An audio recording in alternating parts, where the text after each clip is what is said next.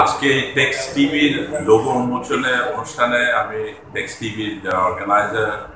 এই তাদেরকে আমি ধন্যবাদ জানাচ্ছি। তাদেরকে আমি শুভেচ্ছা জানাচ্ছি যে তারা এই টেক্সটাইলের উপরে গার্মেন্টসের উপরে, বাংলাদেশের যে ডেভেলপমেন্ট আমরা যে বিশ্বে এগিয়ে যাচ্ছি, আমরা সেকেন্ড লার্জেস্ট এক্সপোর্টার হিসাবে যে অনেক গুড প্র্যাকটিস ভালো প্র্যাকটিস আছে, এগুলো তারা কনস্ট্রাকটিভ ওয়েতে তুলে ধরবে এবং আরও টেকনিক্যাল ইনফরমেশন আমাদের যারা এন্টারপ্রেনার আছে, আমাদের এখানে যারা কাজ করছে, তাদেরকে টেকনিক্যাল ইনফরমেশনগুলো তুলে ধরবে এবং আগামীতে বাংলাদেশকে কীভাবে আমরা বিশ্বের বাজারে এক নম্বরে নিয়ে যেতে পারব, সেটার জন্য বিভিন্ন ধরনের ইনফরমেটিক